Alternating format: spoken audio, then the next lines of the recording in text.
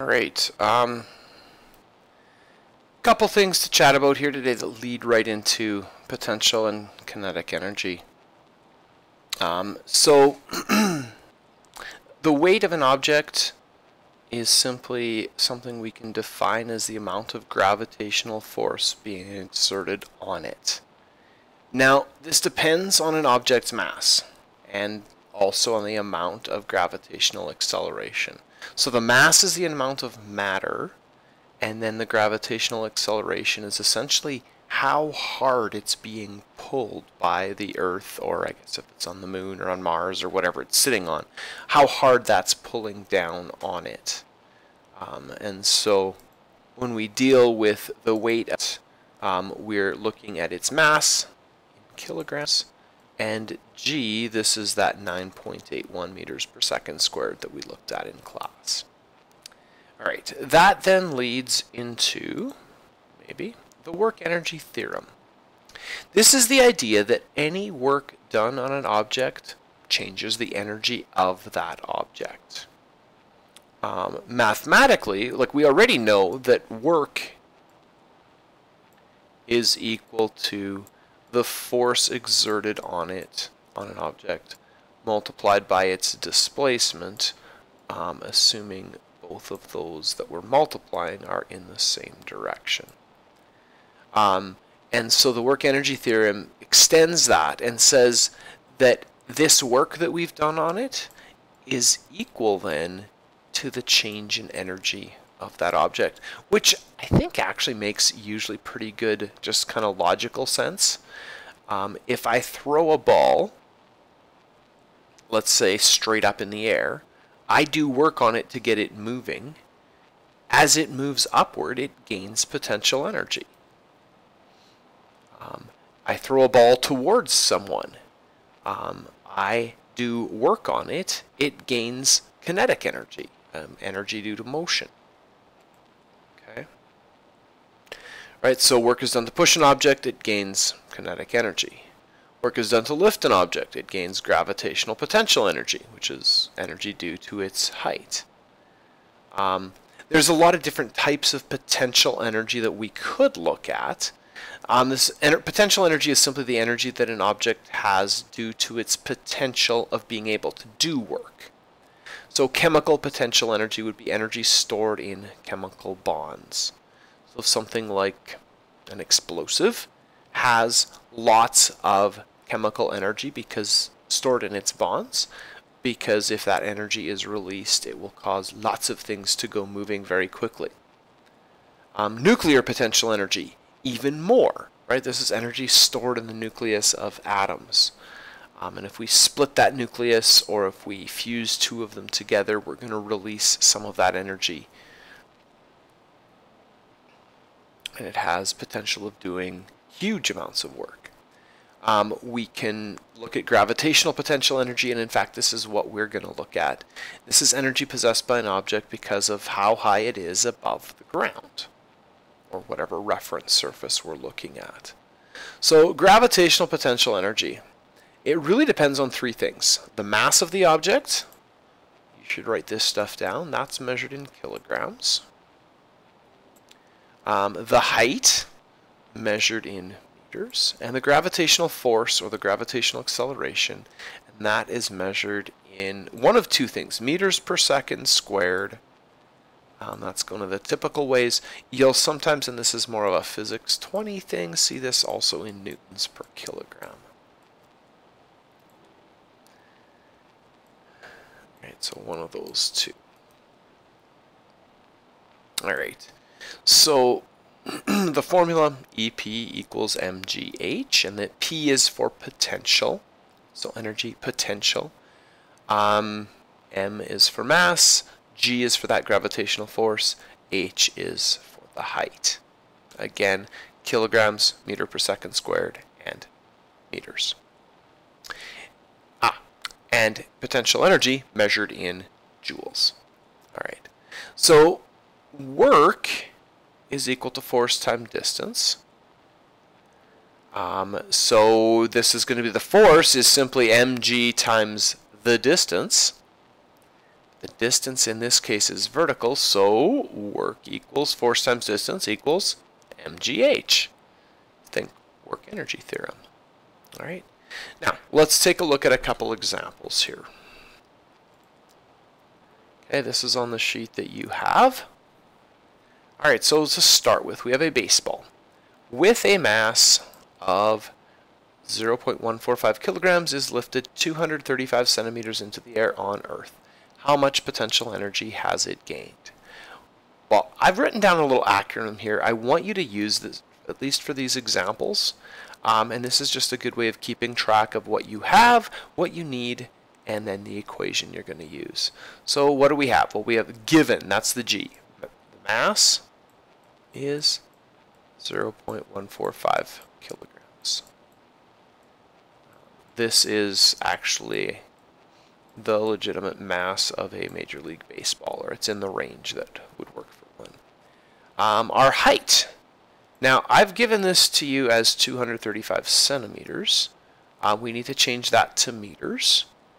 So we're going to divide by 100 because there is 100 centimeters in each meter, so 2.35 centimeters.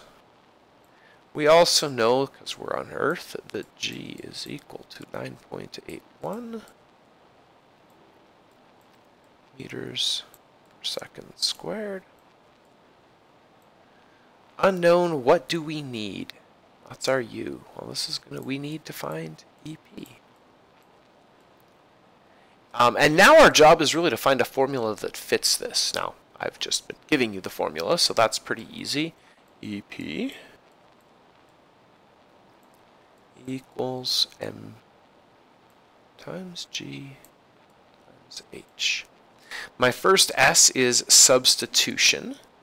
Um, and this is where I just substitute the numbers into my formula.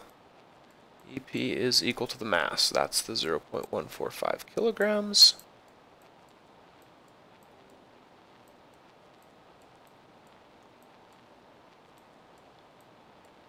Times my 9.81 meters per second squared times my height of 2.35. You'll notice I made a mistake in my unit conversions. Not in the math, but just writing down that this is still centimeters. It was centimeters. I have changed it to meters. Um, and now, so equation, substitution, and my solution.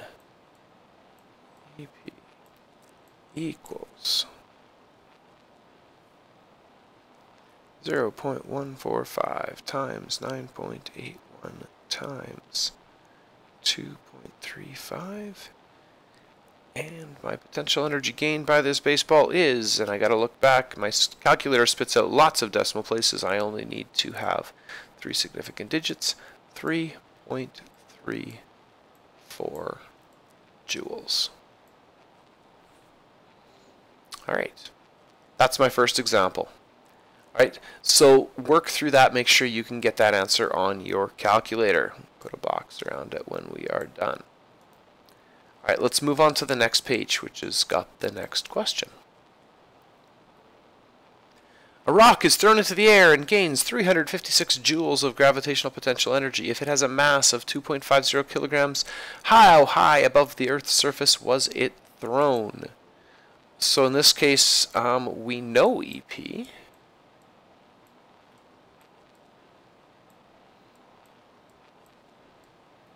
So enough work was done on it to give it this much energy. Now later on we're going to talk about what kind of energy that would have had before this, and that's the energy of motion to get it up there. Um, its mass is 2.5 kilograms.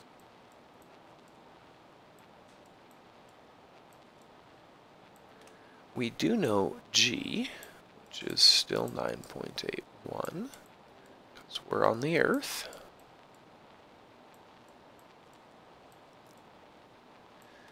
Right, and then I've got my unknown. What don't I know? Well, how high? So what am I looking for? I'm looking for height. Right? Now, my equation that I start with is going to be the same as what I had EP equals mgh. Except in this case, I need to solve for height. So mathematically, I want to get the h by itself, which means I need to divide both sides by m times g. This side by m times g. And I'm left with h, and I'm going to just rewrite this here, equals EP over mg. Alright, and so now my substitution, this is my next line down, h is equal to 356 joules divided by 2.50 kilograms.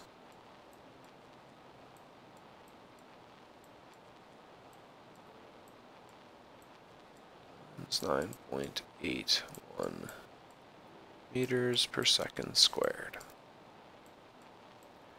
And then my substitution. Um, be careful here with your calculator. You want to make sure if you're going to do all of this at once that you put brackets around all of this stuff. Otherwise, your calculator is kind of stupid, and it's going to come up with, you'll go to 356 divided by 2.5, and then you'll take that answer and multiply by 9.81. So you got to make sure that you put brackets around all of that if you're doing it all at once in your calculator. So 356, and we're going to divide that by 2.5, and this is all in brackets multiplied by 9.81 and we will get, the buttons right on the calculator, um, a height of 14.51 meters. If we look carefully at this, this becomes three significant digits, so 14.5 meters. And we put a box around. Make sure you can get that on your calculator. Move on to the next one. Okay, you're going to notice that these start to look quite a lot the same. Um, you can try this on your own if you want. A brick is lifted up into the air on Earth. It gains 25.0 joules of potential energy and is lifted 1.5 meters up. What's its mass? Well, what are we given? Well, potential energy is going to be 25 joules. Um, height we're given is 1.50 meters. We know g, because we're on Earth, is 9.81. I keep specifying this. You got to know that the next question is going to make you calculate g for somewhere else. So heads up there. Um, our unknown is its mass. Alright, so we start again with our formula EP equals mgh.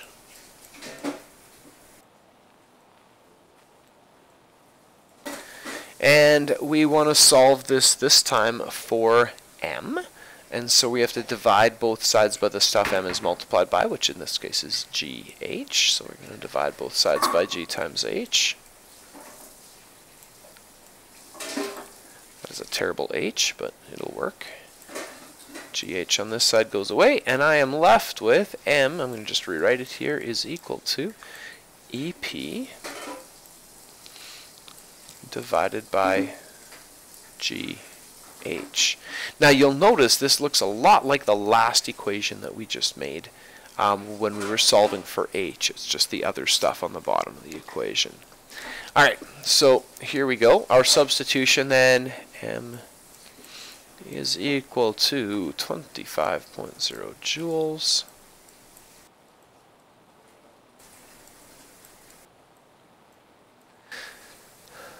divided by 9.81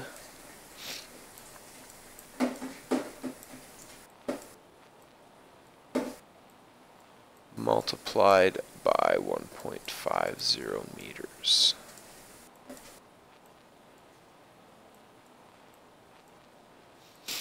And same deal here. Make sure you're careful with your calculator here. Um, if you don't want to enter it into your calculator um, all in one step and put big brackets around everything on the bottom, um, you could go 25 divided by 9.81 and take that answer and divide by 1.5. Mathematically, it'll accomplish the same thing. Um, or, again, use the brackets. That's not a problem. 25 divided by, in brackets, 9.81 multiplied by 1.5 you will end up with your answer. Now your calculator spits out that this thing is 1.698946665 kilograms. Um, we need three significant digits. This is going to round to 1.70 kilograms. All right. Moving on to our last potential energy question. 25 kilogram rock is lifted 2.5 meters above the surface of Mars. It gains 231.25 joules of potential energy. What is the acceleration due to gravity on Mars? So here we are given mass, which is 25 kilograms. Uh,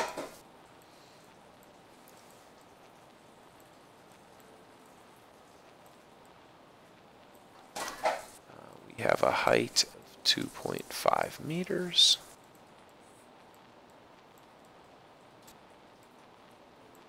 Uh, we have a potential energy of 231.25.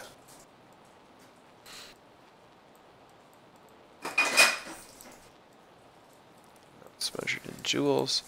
Our unknown this time is G. And so our equation. So we start with, again, EP equals MGH.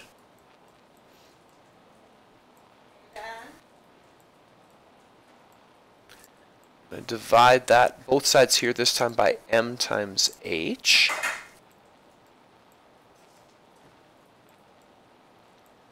Um, which leaves me with just G on this side. So rewriting this, G is equal to EP divided by MH. I now substitute in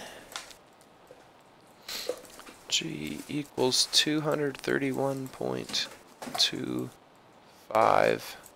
Ooh, that's a lovely 5 joules. All divided by mass is 25.0 kilograms.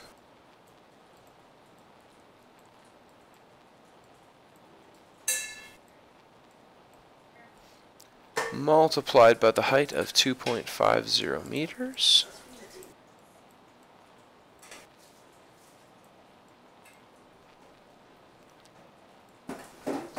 And same drill here, make sure you're using brackets carefully if you're using it on your calculator.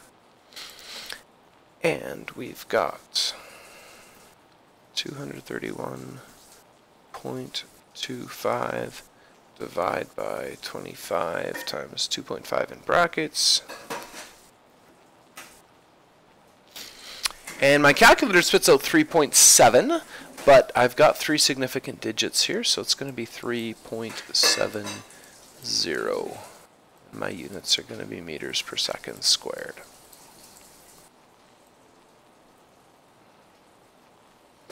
All right. Okay, so that's our last example to go with potential energy, which then quickly takes us back, if we can, to kinetic energy. This is energy due to motion. Um, depends on the object's speed, its velocity, um, or its mass, and its mass, sorry. And so our formula looks like EK equals 1 half mv squared. And let's take a look. A couple examples quick. Baseball is pitched at a speed of 99.50 miles per hour. 44.48 meters per second. If its mass is 0.145 kilograms, how much kinetic energy does it have? What are we given? Well, we are given our speed, which is 44.48 meters per second. And we are given a mass of 0.145 kilograms. Our unknown is our kinetic energy, that's E K. Um, our equation, given in the notes there, it'll also be on your formula sheet. EK equals 1 half mv squared. Our substitution, EK equals 1 half times our mass, which was 0.145.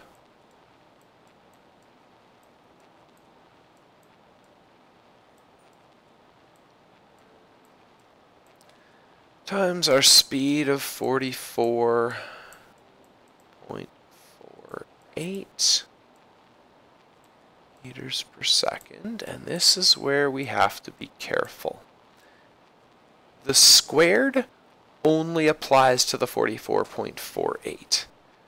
Um, so that means if you're using a regular calculator, order of operations might suggest that you go 44.48 and do that square that thing first and then multiply it by the rest.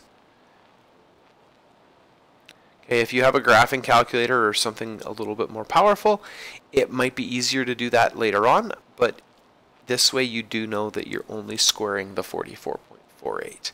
So I do that, then I multiply by 0.145, and then I multiply that by 1 half or by 0.5, and I end up with a kinetic energy in this baseball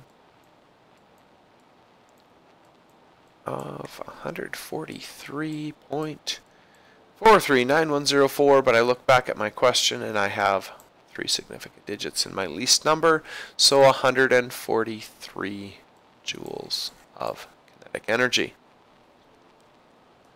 All right, let's move on to the next and second last example in this lesson. Um, and this got messed up in my building the question. That's all right. Boulder has 125 joules of kinetic energy. If it is moving at 77.51 meters per second, what is its mass? So what are we given? We are given kinetic energy which is 125 joules. We are given a speed of 7.51 meters per second. What's our unknown? Well, our unknown here, which I'm just going to do up here, is um, our mass. So our unknown is our, mass, which equals something. We're going to come up with that. Our equation.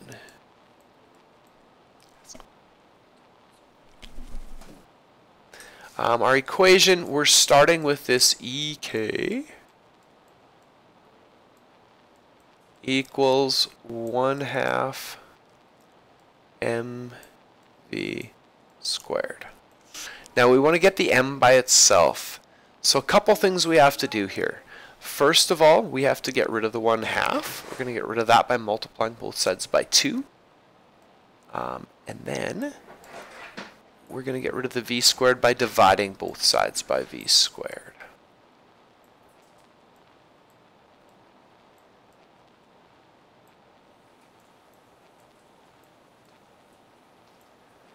Right, so the 2's go away, the v squareds go away. I'm left with an m. So our m is equal to 2 times ek divided by v squared. Okay, so my first s is the substitution. In this case here, m equals 2 times 125 joules divided by 7.51 meters per second and that's the only part that's being squared here so be careful with that. And our second one here for S is our substitution so mass is equal to and I start doing some of the math 2 times 125 divide that by 7.51 in brackets squared so that I'm only squaring the 7.51 and this turns out to be a rather small boulder of only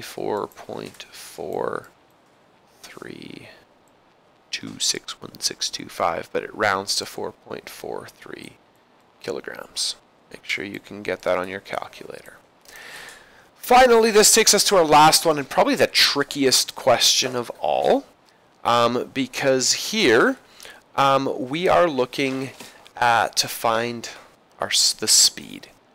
And it's mathematically a bit more tricky, but it's not that much more difficult. So our givens here, moving car has a mass of 1,255 kilograms,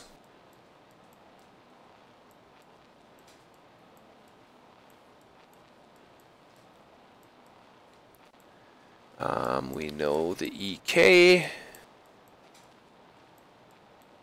which is a large number here, 484,957 joules. I suppose we could say this was 484.957 kilojoules as well. Um, and our unknown. Well, our unknown is going to be V. And our equation, now this is where we start having to think a little bit. Our equation is we start with the original one, ek equals 1 half mv squared. That's the part that, the equation that puts all of these variables together in one place. But we now need to solve for v. Eventually that means we're going to have to take the square root of something. But before we square root anything, we need to make sure that we have the v squared by itself. So we'll get that by itself. So similarly to what we did last time, we'll multiply both sides by 2. We will divide both sides by m. That gets rid of the 1 half, gets there, gets rid of the mass, gets rid of the mass. And now I'm sitting with v squared equals 2ek divided by the mass. And if I want to get rid of the squared, I'm going to have to take the square root of this side. Which means I need to take the square root of everything. Oh, that's a terrible square root on this side. Um, and so my final formula looks like this. V equals square root of, and I'm going to write the square root over top of everything at the end, 2ek over m. Alright, so my first substitution is just to plug the numbers into this.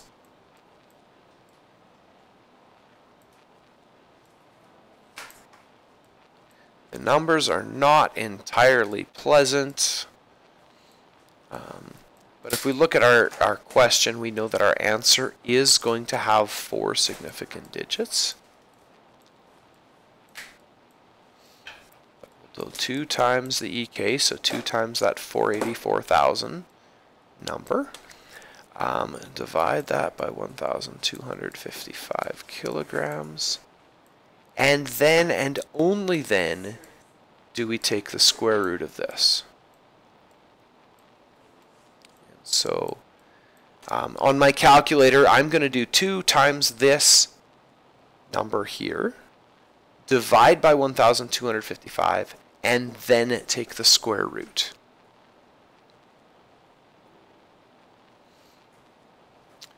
All right, so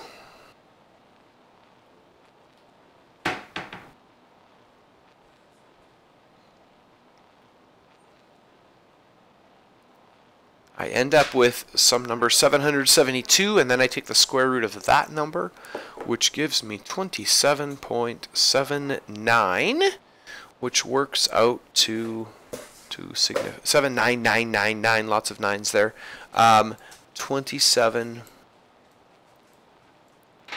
point eight zero